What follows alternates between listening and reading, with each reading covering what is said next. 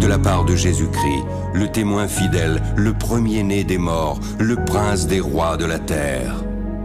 À celui qui nous aime, qui nous a délivrés de nos péchés par son sang, qui a fait de nous un royaume, oui, je viens bientôt.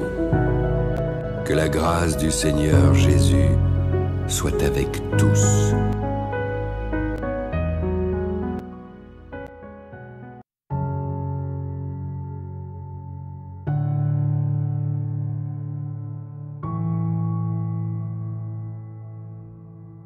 Bonjour à tous, j'espère que vous allez bien, moi ça va très très bien, on se retrouve aujourd'hui donc sur une nouvelle vidéo. Aujourd'hui j'ai décidé de vous faire cette vidéo pour vous parler un petit peu de mon témoignage.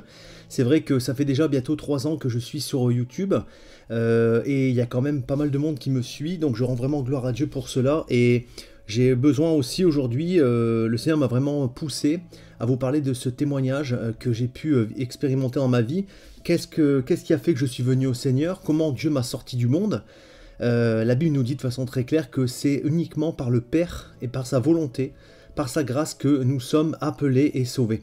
Donc euh, il y a un moment, Dieu suscite en nous, comme il l'a fait par exemple avec euh, différents hommes dans l'histoire, il vient dans l'esprit de la personne et il suscite en nous un désir de le chercher.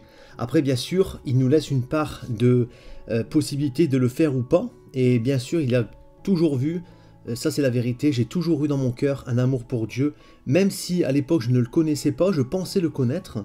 Euh, j'étais euh, donc quand j'étais plus jeune, mes parents étaient catholiques et donc on, avait, bah, comme beaucoup de catholiques, une vie, on se disait croyant, mais il y avait vraiment rien, rien qui nous différenciait d'un païen.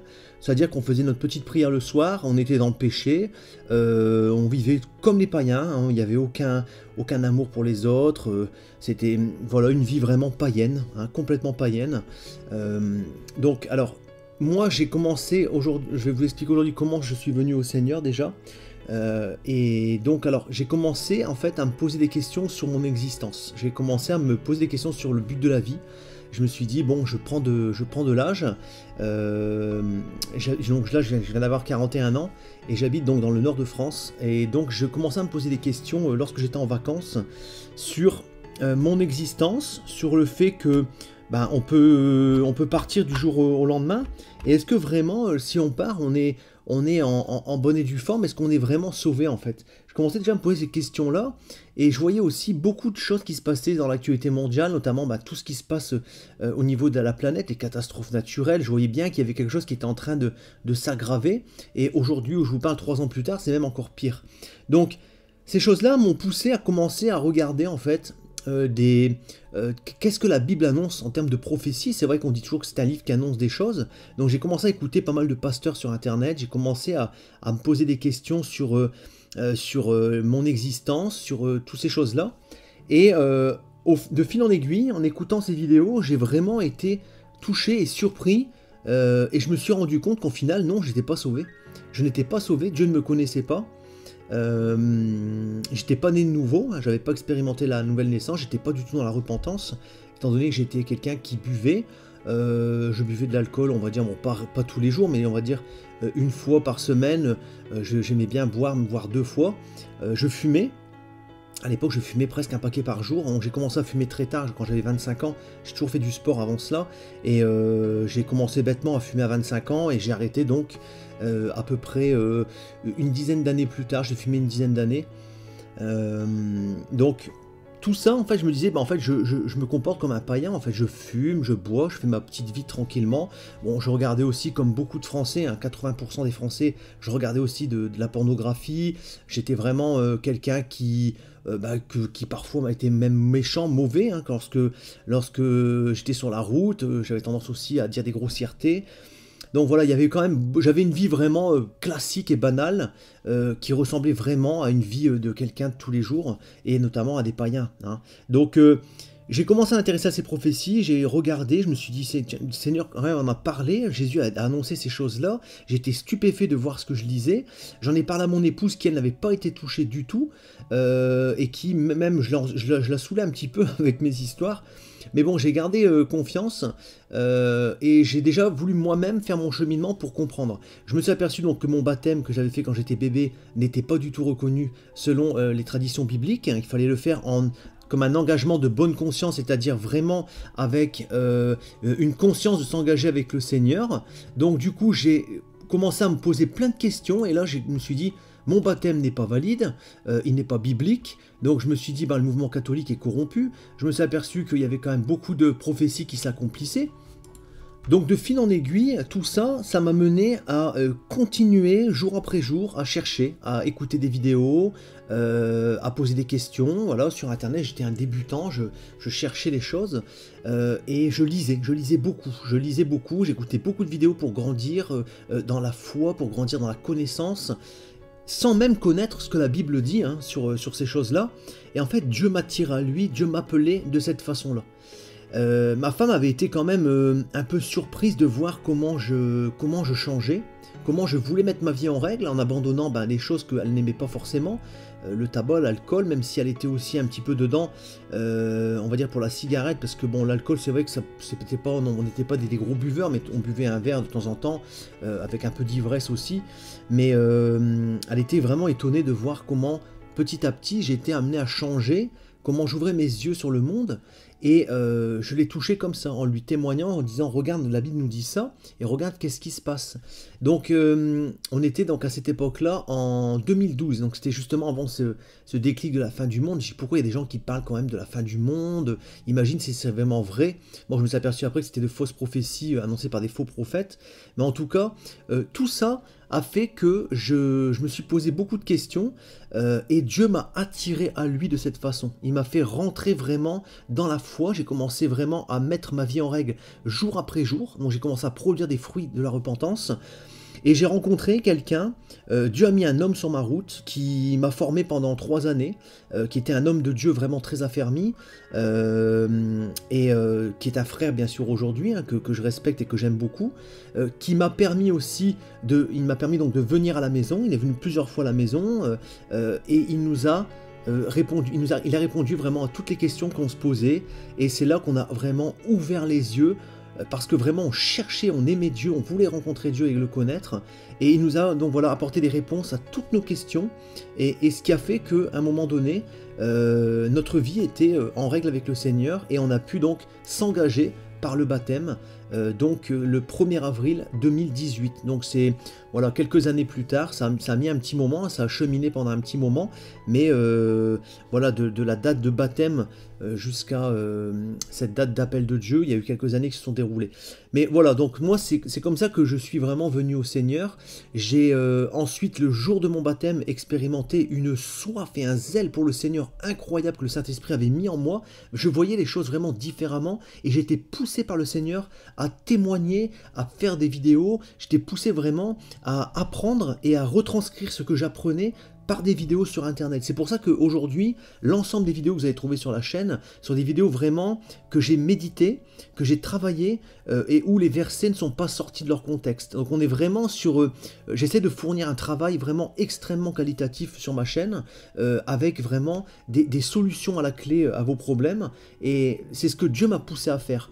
J'étais avant cela aussi, il faut le savoir, un, gamer. Hein. donc j'avais une chaîne YouTube de jeux vidéo où j'avais un peu plus de 20 000 personnes qui me suivaient régulièrement. Donc je faisais des, matchs de compétition en ligne euh, et euh, je, voilà j'étais vraiment très euh, très bon dans ce domaine-là. Donc j'avais vraiment un, un, bon audimat et j'étais vraiment euh, un bon joueur. Voilà, donc on a fait de la compétition et tout ça c'est pareil, tout ça, ça, Dieu en fait a brisé cette chaîne, c'est-à-dire que j'ai commencé à perdre de l'audimat, mais vraiment de façon incroyable. Euh, il y a même eu des, gens qui ne, me, qui ne me regardaient plus euh, et donc j'étais en fait comme si que j'avais tellement une passion pour ça. À un moment, cette passion, c'est comme si elle s'était éteinte. Je n'avais plus le goût de faire des vidéos, je n'étais plus motivé par faire des vidéos sur les jeux. Et au final, j'ai pris la décision, ben, un peu avant mon baptême, d'arrêter cette chaîne, d'arrêter les jeux, et j'ai donc clôturé cette chaîne de jeux vidéo pour lancer cette chaîne de la foi. Et Dieu en fait m'avait formé déjà, avait préparé le terrain par justement toutes les connaissances et les heures que j'ai passées à apprendre euh, à faire fonctionner les logiciels de montage, mais aussi les logiciels, de traitement de photos comme Photoshop. Euh, j'ai pu passer des heures pour la, chaîne de jeu. Et au final, j'ai pu en, avoir, euh, m'en servir pour cette chaîne de foi Et ce qui a fait que la chaîne de foi a vraiment grandi très très vite, parce que Dieu était derrière, Dieu était au contrôle des choses, et je vois aujourd'hui, gloire à Dieu, vraiment beaucoup de bons fruits par rapport à des frères, des sœurs qui sont délivrés simplement par le fait d'écouter certaines de mes vidéos. Vous savez, la parole de Dieu nous dit que la parole, la parole s'est faite chair, et cette parole, euh, qui est la parole de Dieu aujourd'hui qu'on a dans la Bible, c'est ce que Jésus, c'est ce que Dieu nous a laissé euh, pour avoir une ligne de conduite et un comportement qui nous permettent d'entrer à nouveau dans sa gloire et dans la sainteté. Donc en fait, cette parole de Dieu, cette Bible euh, que nous lisons et que nous méditons jour et nuit, nous transforme. La Bible nous dit qu'elle est comme une épée à double tranchant qui pénètre le corps et l'âme jusqu'à la moelle, jusqu'aux jonctions, jusqu'aux jointures. Donc on sait que cette parole de Dieu, euh, comme j'ai pu euh, l'expérimenter comme beaucoup d'entre vous, est venue vraiment me, transformer de l'intérieur et m'a donné aussi une soif euh, d'en savoir davantage. Je voulais vraiment tout savoir sur Dieu, qui il était, pourquoi j'étais là, qu'est-ce qu'il attendait de moi. Et au final, le processus s'est enclenché comme ça. Euh, mon épouse a été touchée aussi par mon changement de comportement. J'ai touché également d'autres personnes dans mon entourage. J'ai eu des personnes bien sûr qui m'ont tourné le dos parce qu'ils ne comprenaient pas. Ils m'ont dit Oh, t'es tombé dans une secte. Toujours les, mêmes phrases euh, de, gens qui sont dans, dans, euh, l'ignorance la plus totale. Et donc au final, voilà, je, suis arrivé comme ça au Seigneur. Donc aujourd'hui, je voulais vous faire ce témoignage pour vous montrer que Dieu appelle de différentes façons. Parfois, il y a des gens qui ont des révélations la nuit, Dieu leur parle dans des songes, Dieu peut même se révéler dans une présence dans la chambre. Il y a des gens qui ont vu le Seigneur, euh, il y a des gens qui ont été appelés comme moi un peu plus subtilement. Euh, mais en tout cas, voilà, le jour de mon baptême, j'ai reçu donc ce Saint-Esprit si merveilleux et qui m'a donné envie de voilà, de suivre le Seigneur, euh, d'être zélé et de, continuer à, marcher voilà, dans, l'obéissance. Et au fil du temps, j'ai pu euh, grandir dans euh, mon engagement pour le Seigneur, dans l'abandon des choses du monde, dans les choses inutiles. c'est pas toujours facile, hein. il faut savoir aussi que bien souvent, on a tendance à, penser que les pasteurs ou les dirigeants ou les, propriétaires d'une chaîne comme celle que je, gère sont des gens surnaturellement poussés, mais sachez que les tentations sont toujours présentes Parfois, j'ai encore le, diable qui vient essayer de me, tenter avec la cigarette, avec euh, euh, la pornographie, avec toutes ces choses-là qui sont vraiment euh, partout autour de nous. On voit vraiment des scènes de nudité partout et on, reste des êtres humains. et c'est pour ça que Paul disait que vraiment il faut entretenir notre chair. Donc j'essaye, moi de mon côté, de me maintenir dans une obéissance et c'est ce que la Bible demande prioritairement. Hein. Il y a vraiment une priorité que la parole de Dieu nous dit, c'est vraiment la priorité, c'est le changement de vie, la repentance. C'est-à-dire que vraiment, on doit mettre de côté et abandonner notre vieille nature charnelle et pécheresse pour vraiment expérimenter une nouvelle naissance en esprit et euh, la nouvelle naissance d'eau, qui est donc euh, euh, cet engagement par le baptême, mais aussi le, changement d'état d'esprit, qui doit être aussi un témoignage de notre, notre foi et de notre engagement avec le Seigneur. Les gens doivent dire autour de vous, je ne comprends pas comment il a pu changer comme ça. Moi, on pensait que c'était des lubies, et les gens ont tous témoigné euh, Waouh, Freddy, il a vraiment changé, c'est plus le même. Euh, donc voilà, c'est une belle expérience que j'ai pu vivre avec le Seigneur, j'en vis encore aujourd'hui. Dieu est vraiment présent et croyez-moi, avec le Seigneur, c'est plus vous allez vous investir, plus Dieu va vous donner. Euh, Dieu nous parle, Dieu nous guide, Dieu nous montre qu'il est présent, qu'il est là, qu'il est amour et que malgré parfois euh, le fait qu'on trébuche ou qu'on n'est pas toujours à l'écoute ou pas toujours obéissant, Dieu nous montre que par son amour, il est encore présent, il est là et il nous guide. Donc on a vraiment un Dieu qui est incroyable. Et comme la parole de Dieu nous dit, hein, c'est jour après jour que le Seigneur nous amène voilà, à la, sainteté, à la sanctification. Mais il faut bien sûr euh, le vouloir et se disposer à vouloir changer. Voilà ce que je voulais vous dire aujourd'hui sur mon témoignage. Euh, donc en tout cas, euh, voilà, il faut, se battre, hein, comme Paul le disait. Après avoir prêché moi-même, euh, il faut faire attention de ne pas être disqualifié. Hein. C'est vrai que on, peut enseigner, mais on peut être disqualifié euh, lors de, l'enlèvement de l'Église parce que peut-être on n'a pas vraiment notre vie qui est parfaitement en règle. Donc Dieu peut nous utiliser, mais notre vie n'est pas forcément en règle. Donc euh, vraiment, je vous encourage, tout un chacun, à mettre vraiment votre vie en règle vis-à-vis du péché, qui est quand même quelque chose que Dieu veut détruire, et euh, ceux qui se maintiennent dans le péché ben, euh, prennent le risque aussi d'être détruits en même temps que ce, que ce péché. Donc vraiment, le péché vient du diable, et il faut en prendre conscience. Il faut vraiment comprendre qu'on ne peut pas entrer dans le royaume des cieux si on n'a pas expérimenté la nouvelle naissance, si on est encore dans une vie de péché, si euh, euh, on n'est pas né nouveau, voilà, si on n'est pas dans la sanctification non plus, c'est des conditions que le Seigneur a données euh, et il faut vraiment en prendre conscience. Donc on y travaille vraiment chaque jour et par cette vidéo, je vous encourage vraiment à vous disposer à ce que le Seigneur vous transforme et bien sûr à être dans une bonne démarche et une bonne volonté, une bonne dynamique. Hein, il ne faut pas attendre que Dieu fasse tout pour vous. C'est pas comme ça que ça se passe. Dieu a déjà tout accompli à la croix. Maintenant, on connaît le chemin. À nous, à nous de l'emprunter ou à nous de partir vers le chemin grand et large. Voilà ce que je voulais vous dire aujourd'hui. Mais en tout cas, j'espère que le témoignage vous a rapporté des, choses concrètes dans votre vie. N'hésitez pas si vous avez des questions. Euh, je vous souhaite vraiment une très très bonne journée. Soyez bénis, frères et sœurs. Je vous aime et je vous dis à très bientôt. Alors là, ça va être un match très intéressant. L'équipe Fred the Dog, donc, qui vient de rentrer dans le tournoi grâce à la défaite euh, qu'a eu euh, Wolf. Hein. Euh, il a pris Même les deux qu'il fallait. C'est ce qu'il fallait faire. Oh là là, ça oh là Fred. Fred the Dog, ils ont remporté, ils ont remporté la première manche. Fred, il a... Bien joué. C'était mal parti. Joué. Franchement, honnêtement, c'était très très propre.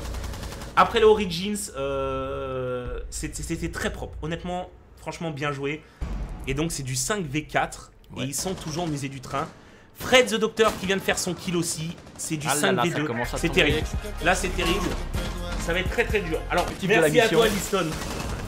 Voilà, ça y est. Fred the Doctor, il a fini Fred the Doctor, il a fini tout ça. Anesthésie globale, euh, anesthésie générale, on n'en parle plus. Et c'est du 2-1 pour l'équipe de Fred et toujours aucune défense de réussi. Oh là Oh, il s'est mangé le mur. Là, il, avait aucune chance. Ils avaient l'otage. Euh, Après choc, il a l'info. Voilà. Et c'est la première défense. Lion, il régale c'est Lion qui a régalé. L'équipe à Fred the Doc, attention, ils font mal. Ils font mal dans cette compétition. Fred. Impossible de les avoir ailleurs. Et c'est pareil pour les gagnants. Fred, qui a fait son kill. Il a Oh Il a, il, a, GG. Il a GG. Il a GG, Fred, bien joué. Ouais. Il a GG, on va se mettre dans sa vie. Non, disons pas. Restons quand même objectif au maximum, n'est-ce pas Il a pris l'info, attention, ça va piquer vite. Allez, c'est du 3v3. C'est du 3v3. Attention quand même. Drive Super Event, j'espère un jour voir la World Cup. Hey. Excellent le décal, voilà. Fred, qui... Fred qui vient de faire un kill sur Extreme. Fred qui vient de Revenge et qui a tué euh, Extreme. Enfin une Revenge, avec du temps quand même. Toujours misé du train. Là, Fred, tu sens que c'est sa map et sa game. Peu, ouais, ouais. Là, euh, là il envoie quand même. Il est pas là pour blaguer. Hein. Il qui a pris une balle. Termite mort. Fred the Doc, qui Revenge. Oh là là Fred Zidok qui, a, qui, qui met bien Revenge. C'est clairement sa game. c'est Bon, là, par derrière, il peut pas faire grand chose. Mais c'est clairement sa game pour le moment. Il reste H.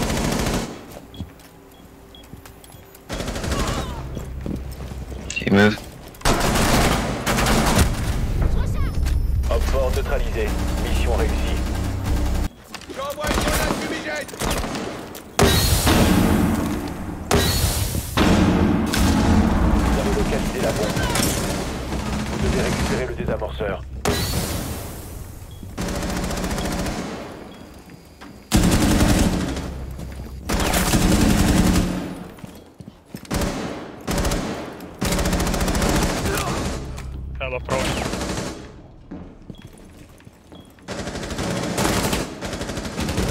reste 15 secondes.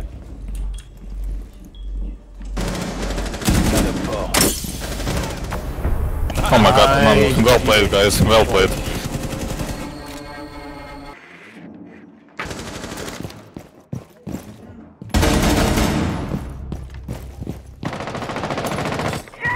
My vigil upstairs.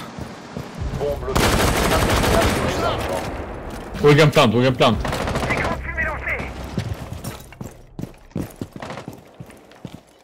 You can...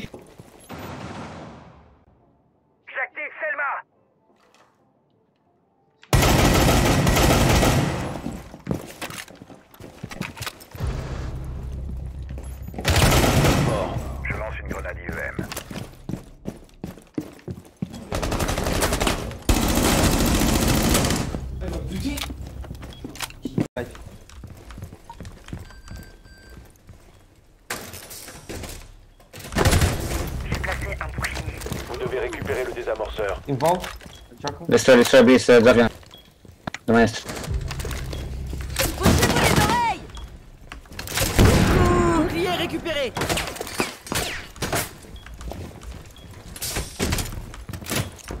Bouclier talon au sol.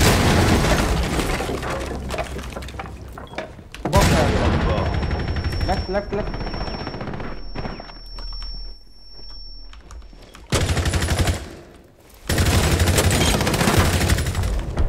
job. Fort éliminé. L'amorceur n'est plus entre vos mains.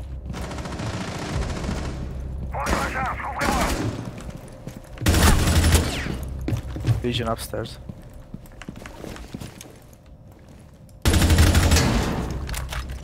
Vision upstairs still. Dernier Roquefort. Vous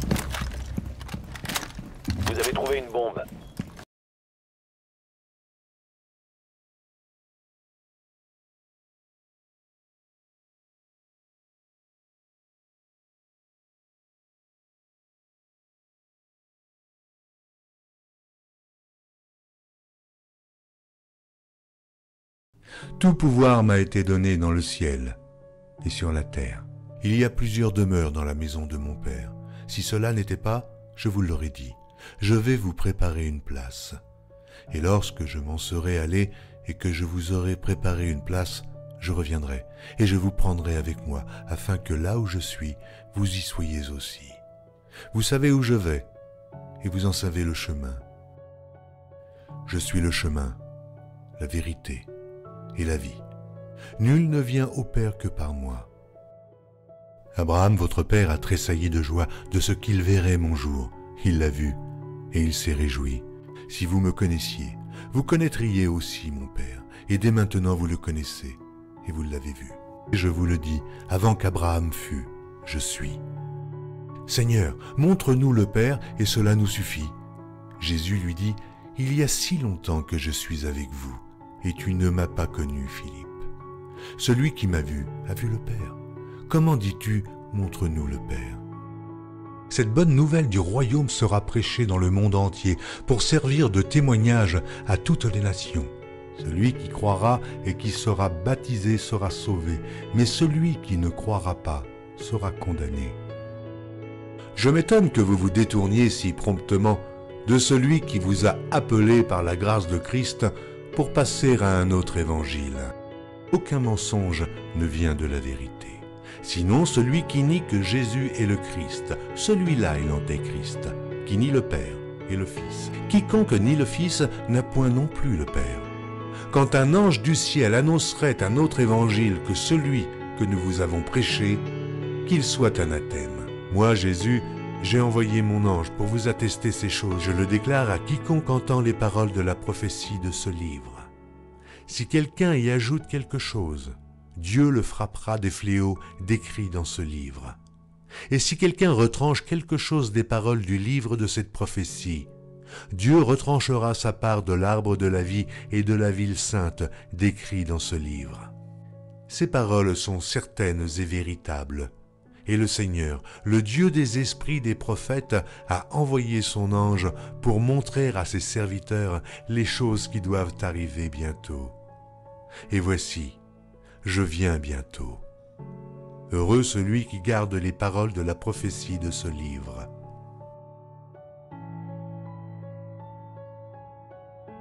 Voici, il vient avec les nuées, et tout œil le verra, même ceux qui l'ont percé. Et toutes les tribus de la terre se lamenteront à cause de lui. Oui. Amen. Je suis le rejeton et la postérité de David, l'étoile brillante du matin. Je suis l'alpha et l'oméga, dit le Seigneur Dieu, celui qui est, qui était et qui vient, le Tout-Puissant, le premier et le dernier, le commencement et la fin. Que la grâce du Seigneur Jésus soit avec tous. Moi, Jésus, je viens bientôt. Vous êtes d'en bas, moi j'en suis d'en haut. C'est pourquoi je vous ai dit que vous mourrez dans vos péchés. Car si vous ne croyez pas ce que je suis, vous mourrez dans vos péchés.